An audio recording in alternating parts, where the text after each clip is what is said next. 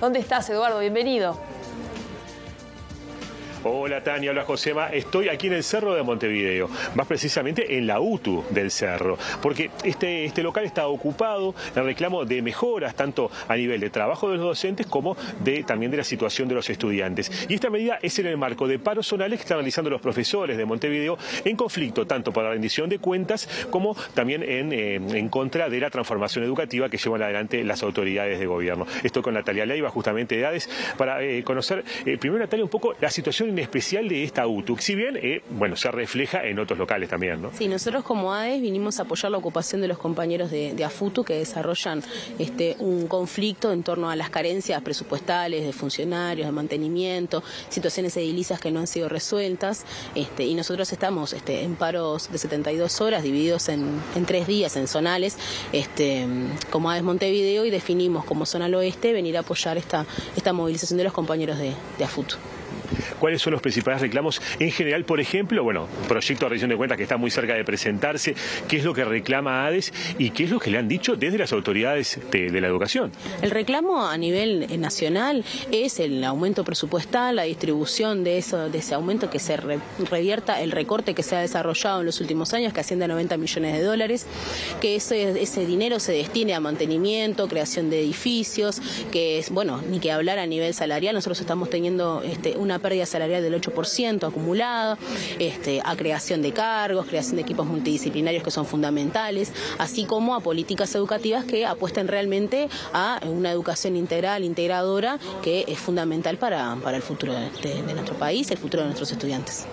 Eh, hablábamos antes de, iniciar el móvil de eh, pandemia de por medio, situaciones que ya eran complejas, sobre todo en algunas zonas de Montevideo se han complicado más, eh, el reclamo de equipos multidisciplinarios para justamente trabajar estos temas. Sí, el equipo multidisciplinario tiene un rol en, lo que son las instituciones educativas en cualquiera de sus niveles que tiene que ver con la atención de este, las particularidades de los estudiantes, sus situaciones eh, emocionales, socioeducativas, tiene que ver además con este, la creación de espacios de coordinación donde los docentes, las docentes puedan trasladar estas situaciones y a su vez se pueda coordinar con otras instituciones que realmente han tenido un recorte brutal a lo que, en, lo que es la zona oeste y en general en Montevideo. Y este, eso genera no solamente problemáticas que se agudizan, sino este, bueno,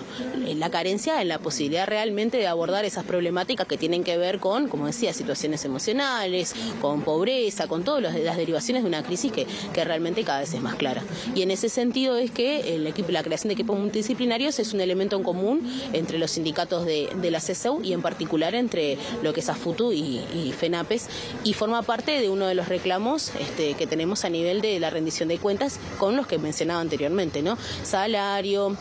en la, restitución de las 50.000 horas que fueron eliminadas en el caso de este, lo que es FENAPES, de las miles de horas que fueron eliminadas en el caso de UTU y la generación de estos cargos que son fundamentales. ¿no? justamente, de cara a la rendición de cuentas, en pocos días va a estar en el Parlamento. ¿Qué prevén desde ADES, desde, en general la coordinadora de sindicatos de educación, respecto al trámite parlamentario? ¿De qué forma intentar incidir allí? Se está desarrollando un plan de lucha que tiene que ver con este, colocar estos planteos este, y este, este programa, reivindicaciones, este, a través de movilizaciones que ya se vienen realizando, reafirmar que estamos en conflicto y que ese conflicto tiene que ver con todas estas carencias que estamos mencionando y este recorte brutal que sufrió la educación pública, en particular el nivel, en su nivel medio, que, es este, lo, que, lo que nosotros estamos planteando en este momento. Y es en ese sentido que tenemos este, desarrolladas actividades ahora como zonal, eh, oeste, pero mañana van a haber actividades en otros zonales, todas con paro de 24 horas hasta el jueves luego tendremos las asambleas debidas para